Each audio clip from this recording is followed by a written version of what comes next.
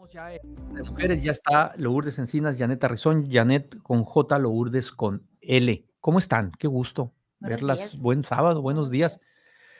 ¿Cómo amanecieron?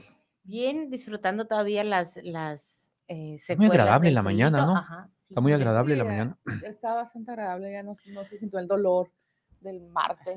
Exacto. Estaba hablando ahorita con eh, Joaquín Castillo en la mesa de jóvenes sobre el triunfo de los naranjeros y no quiero dejar de lado la oportunidad de felicitar a un gran naranjero que tiene la afición de Hermosillo y que afortunadamente creo que tiene este espacio también, al menos ocasionalmente, me imagino, que es don Jesús Encinas, el papá de Lourdes.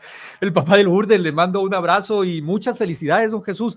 Ya vi eh, lo que hicieron en la barda de su casa, gracias a su consentimiento. Además, quedó muy bien, eh, que no le digan que no le cuenten, quedó muy bien. Manténgala y consérvela. Y es más, yo creo que puede ser un buen amuleto para que los naranjeros sigan siendo campeones. Lourdes, ¿qué hizo tu padre? Sí, pues, Cuéntanos. Me dio mucho gusto verlo, ¿eh? Más bien, hay, hay, hay un colectivo de artistas que se llama Sangre del Desierto. Sí. Y entre ellos hay, hay un, un pintor que hace murales, que se dedica a hacer murales.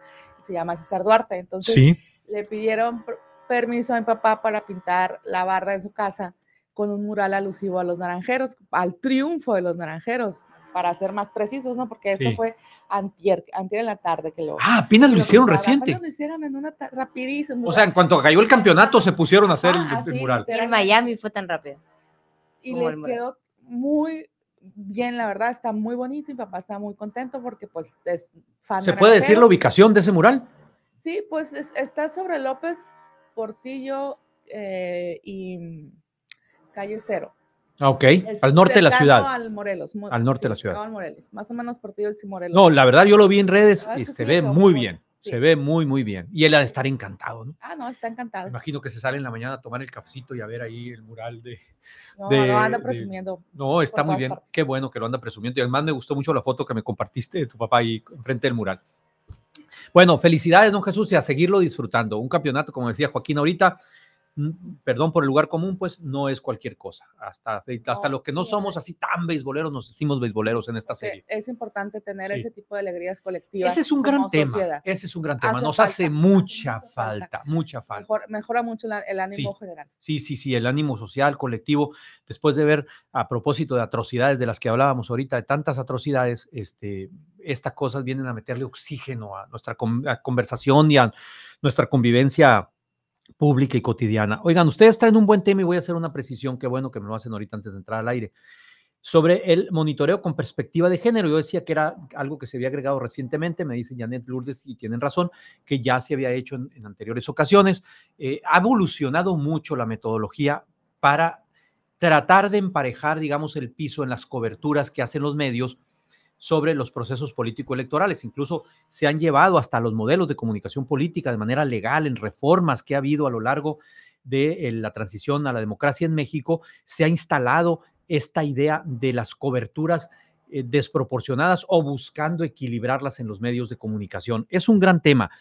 Eh, ¿Vas a participar o van a participar ustedes en el monitoreo de, de este año, Janet, para los medios de comunicación? A ver, ¿qué es un monitoreo con perspectiva de género? Ahí viene integrándose también Gaby Félix. Gabriela. Bueno, el monitoreo es algo que ya se estableció en la ley de en la LEGIPE, que es la ley Sí, de procedimientos electorales, Electorales. instituciones y procedimientos electorales, y es una responsabilidad que tienen los órganos electorales para, para supervisar o para, no supervisar, para monitorear, monitorear, es el para término correcto, para dar seguimiento y conocer el estado que guardan las cosas en los medios de comunicación en los periodos electorales. Y esto con el fin de, pues, eh, tenemos que retomar el que los medios son un agente socializador Sí. y, y tienen un impacto positivo o negativo, o ambas, en la percepción de la ciudadanía. Entonces, es muy importante para, particularmente para la participación política de las mujeres, que estos medios se encuentren eh, pues, libros de este- libres de estereotipos de género, que reciban una atención igualitaria candidatas y candidatos, y eso también incide al final en la equidad de la contienda. Eh, las reglas electorales o uno de los principios básicos electorales es que las y los candidatos deben de tener las mismas condiciones para competir. Entonces, lo que se hace es hacer una eh, un seguimiento de la cobertura mediática en esos periodos. Eh, los institutos, tanto el nacional como el local. Perdón que te interrumpa, lo hicieron de las precampañas. Sí, en este momento ya se terminó. Bueno, hay que diferenciar quién los hace. Sí. La elección federal la monitorea el INE. El INE. Y la elección local, que son eh, alcaldías y diputaciones locales, las monitorea el Instituto Estatal Electoral. Ambos hacen una convocatoria pública y se licita ese proyecto y se adjudica a una universidad. En este momento creo que es la Universidad de Nuevo León la que está evaluando eh, a nivel nacional. Y en lo local, el Tecnológico de Monterrey es a quien se le asignó el Aquí en Sonora. En Sonora, así es. Y van a monitorear eh, las eh, campañas locales. Así es, son diputaciones. Presidencias municipales y diputaciones o, o unas u otras, las dos. Las dos. Y el objetivo es conocer eh, tanto la parte de tiempos como de la forma en la que se trabaja, que son eh, indicadores cuantitativos y cualitativos. Yo aquí me gustaría, y para abrir ya la conversación sobre ese tema, que pues es un tema nuevo, no es un tema nuevo, es un tema que tiene eh, ya una historia y, que se ha construido con el trabajo de muchas personas.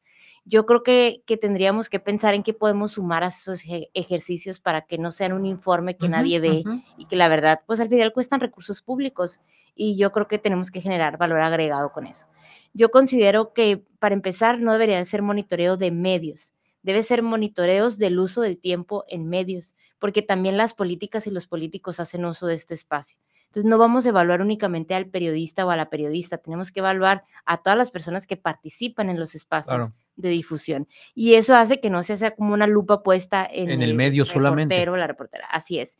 Porque al final lo que queremos es que la conversación pública se equilibre y empiece a generar una cultura diferente. No, no creo que deba ser el objetivo como eh, satanizar o señalar específicamente a alguien, sino conocer cuál está siendo la conversación tanto de la ciudadanía como, como de los medios, como de quienes vienen y participamos a los medios. Muy bien, Janet, tengo que hacer la pausa de la media hora. Regreso con ustedes. Gabriela, bienvenida. Buenos días. Buenos días. Vamos a hacer pausa y volvemos. Lourdes Encinas, Janet Rizón, eh, Gabriela Félix, aquí nos está grabando la Janet, mira, ya. Este, a ver, estamos hablando del monitoreo con perspectiva de género que está llevándose a cabo en las campañas nacional y local.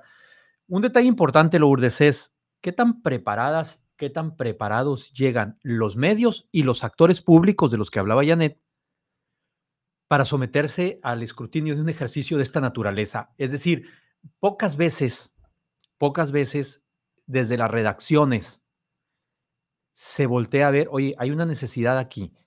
¿Quién nos puede ayudar a eh, entender esta, esta realidad y poderla transmitir bien desde las redes digitales, desde los noticiarios, desde los programas de entretenimiento, etcétera, etcétera. ¿Cómo llegan los medios primero a esto? Y si quieren, ahorita vemos cómo llegan también los actores, que son los que deben también cuidar su, sus participaciones. Mira, antes de hablar de, términos de preparación, yo hablo de términos de un profundo interés en medios de comunicación, periodistas en lo particular y, y personas a las que se invita a participar en, mesas, de opinión y análisis.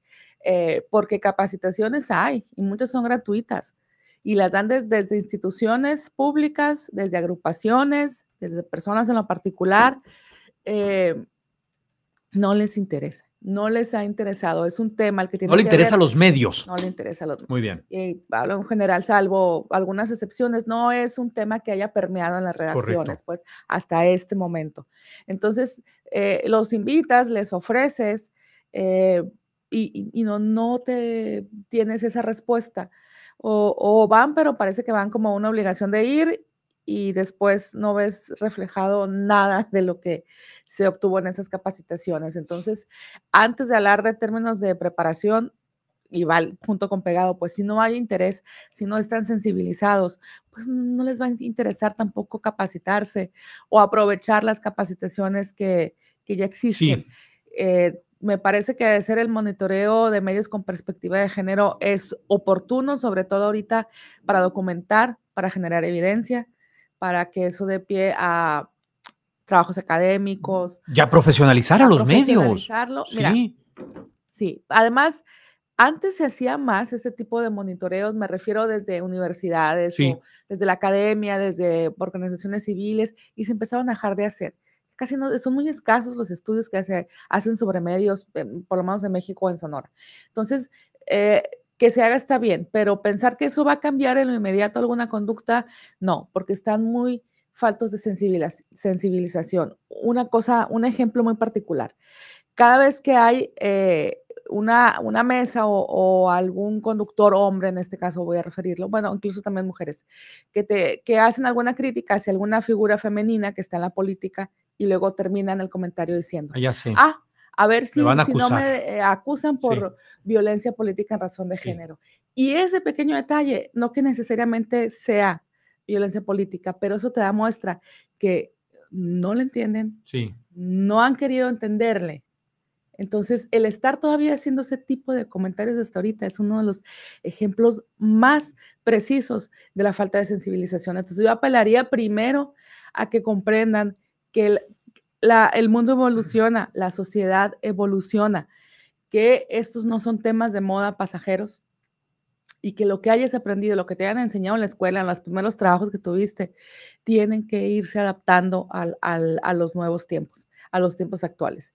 Entonces, yo apelaría primero a eso, porque, porque pues... Sí, es el principio. Gabriela ahorita que estaba, no sé si, me disculpo por llegar unos minutos tarde, pero no sé si comentaste que se monitorearon 73 programas en la precampaña. En la precampaña, sí. Ajá, y van a ser, en lo federal, y van a ser 503 en la campaña. En lo federal, en lo federal. Y los resultados del monitoreo de la pre-campaña ya están colgados en la página del INE. Yo ya los revisé. De sí, eh, muy interesantes. Muy interesantes. Porque además, este, bueno, aquí ya tiene... Más de 53 horas, si mi memoria no me falla, a Claudia Sheinbaum, 47, una cosa así a Xochitl Galvez, y luego mordió un pedazo eh, Samuel, el tiempo que estuvo, y Álvarez Maínez, pues casi nada, ¿no? Por, por, cómo llegó. Sí, y aquí en Sonora van a ser 85, 95. 95 medios. 95 medios. Del Estado, para lo local. 95 fuentes. Ah, porque del mismo medio. Sí, claro, hay, varios programas. Ajá. Sí, muy bien.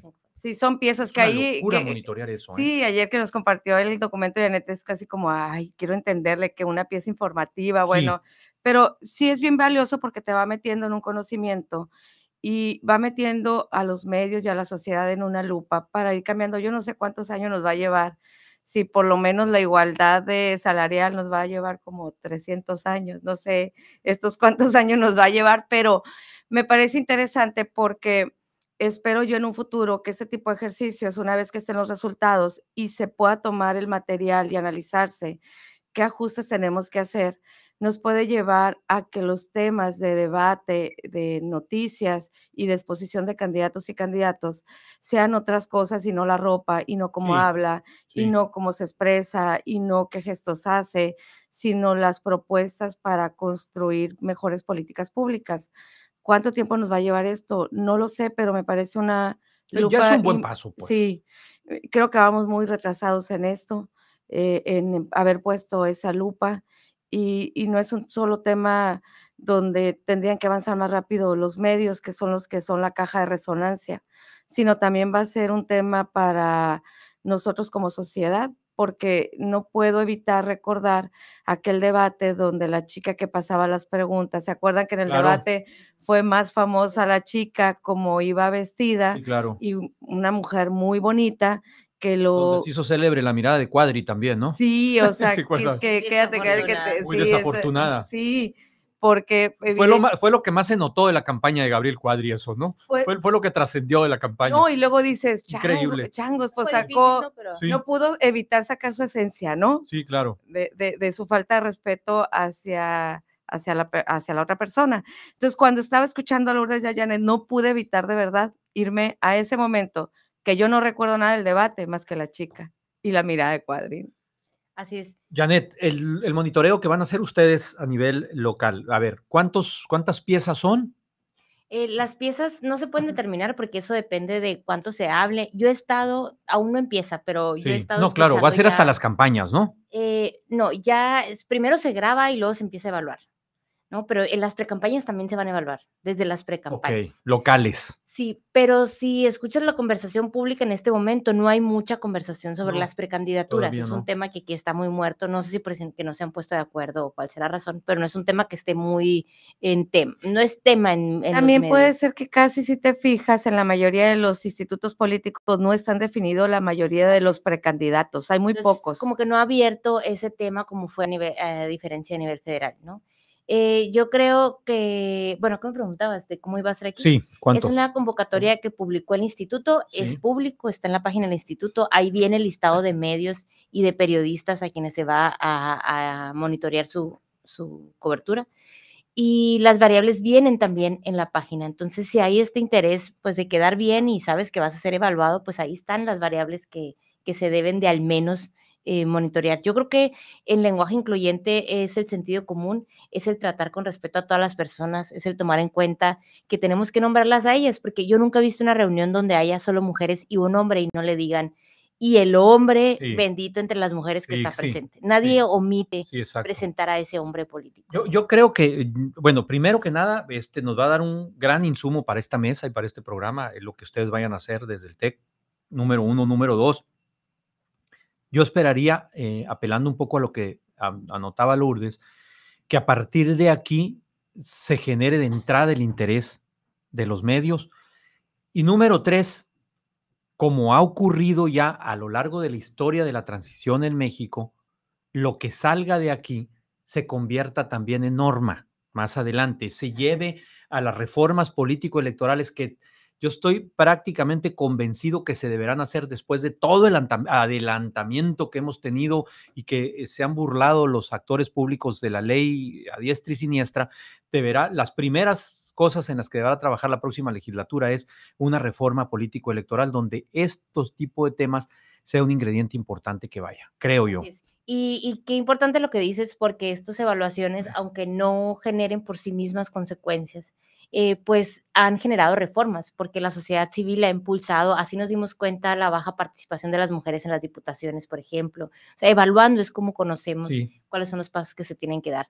Y aquí yo sí haría nada más la anotación que aunque eh, no está totalmente normado, sí está normada ya y hay consecuencias para la violencia política. Y aunque lo tomen a broma, pues cuando se quiere sí se juzga. Cuando no se quiere, no, ¿no? Muy bien. Conozco ciertas historias, pero eh, el problema es que sean susceptibles de recibir responsabilidades los medios. Lourdes, cerramos. Eh, cierro con otro tema. Quiero cerrar con otro tema. No quiero dejar pasar esta mesa para eh, hacer el comentario respecto a la pequeña María Sí. de 12 años, que, que bueno, hablando de atrocidades, Sí. lo ocurrido con ella fue una gran at- atrocidad. María fue eh, desafortunadamente sustraída de su Justo lo domicilio comentaba hace ratito con Moisés. por sí. un sujeto cercano a su familia eh, que abusó sexualmente de ella, la mató y la dejó abandonada en, en un Sí. terreno baldío. Horror. Entonces, eh, ya está detenido, ya, ya la fiscalía actuó y lo, y lo, lo detuvieron. Falta ahora la siguiente etapa, que sea la condena, dependiendo de las pruebas que haya conseguido la, la fiscalía. Eh, pero también quiero hacer la observación de que son temas muy sensibles, muy dolorosos y me pareció un manejo sumamente frío. Es más, no hubo manejo, no hubo comentario ni del gobierno del estado ni del gobierno municipal. Y esas son cosas que, así como Sí. tenemos cosa para festejar con el triunfo del, del equipo de béisbol, pues hay cosas que duelen también, Sin duda. que inciden y que no deberían tratarse con esa frialdad. Por lo menos situaciones de ese tipo, yo recuerdo lo que la fiscala eh, Claudindira Contreras salía siempre y emitía un mensaje, porque Sí, se hace necesario. pertinente tu comentario, Lourdes. Gracias. Gabriela, gracias. Lourdes, gracias. Janet, gracias. Las veo el próximo sábado. Claro, puntualmente. Aquí nos vemos. Muchas gracias. Voy a hacer.